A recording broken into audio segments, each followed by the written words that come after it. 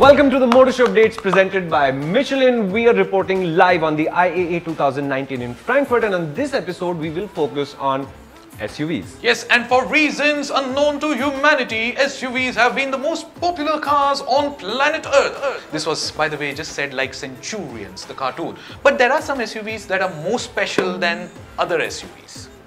Yes, and these special SUVs are the ones that have no off-roadability left. No, but they're not on this episode.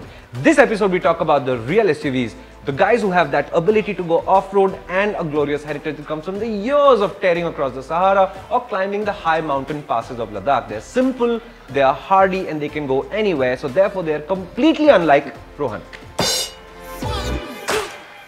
Bad joke once again, but I know what SUVs you mean like. Like the Mercedes G-Class, Toyota Land Cruiser, or then even the Jeep Wrangler. Wait, when did the wagon become a class?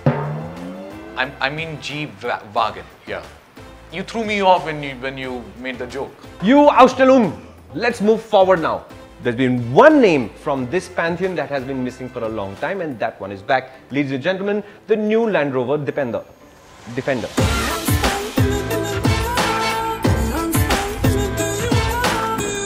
The Land Rover Defender is now uh, new. It's got a new suit.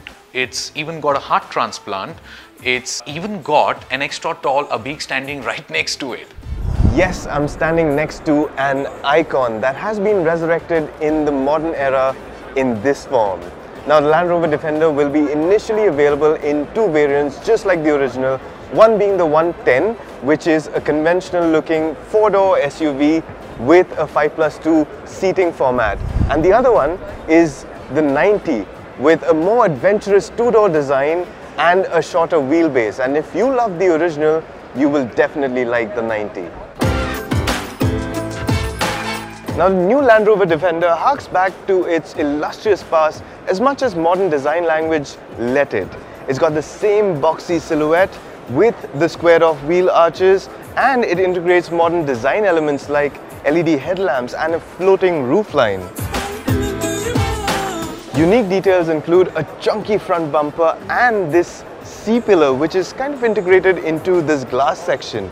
And as you come around to the back, there are period correct tail lamps but now they're of course LEDs. The Defender's cabin mixes retro design with modern day amenities like wireless phone charging, leather seats and even an infotainment system that features over-the-air updates.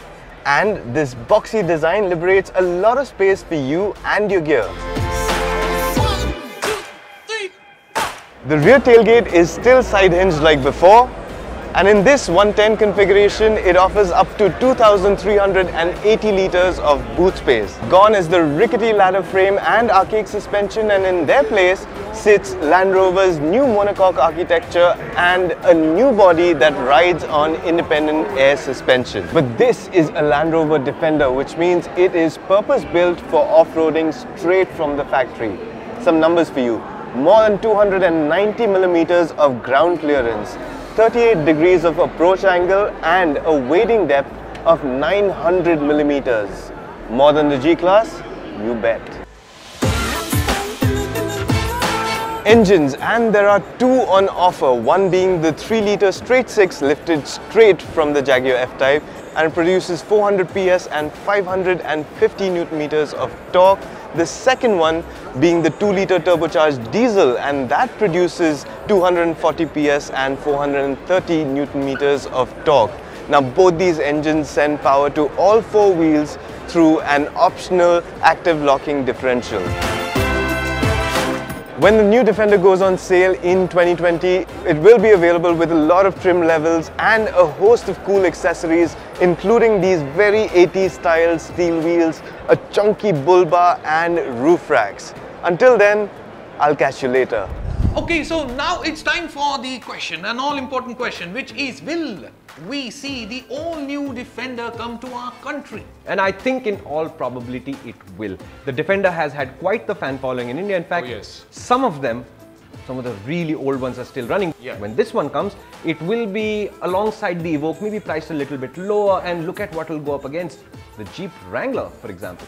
Yes, and it is true that uh, the Defender has quite a lot of fan following here. In fact, India is one of those very few countries where we still have Series 1 and Series 2 Defenders uh, treacherously traveling between Manebhanjang all the way up to Sandakphu and I was there, I've, I've done this. If you want to catch this story where I drive up to this place where we catch a lot of old Defenders, even those which were airdropped during war times, I do it in the Land Rover Discovery. You just catch the story on PowerDrift along with all the motor show updates that are coming right at you from the 2019 Frankfurt Motor Show. Yes, so the Defender is going to be really popular in India if it comes just like Rohan here. And on that note, we will sign out from this episode of Yes. the Motor Show Update presented by Michelin. Yes. Stay tuned, stay subscribed. We have lots more exciting stuff coming at you from Frankfurt.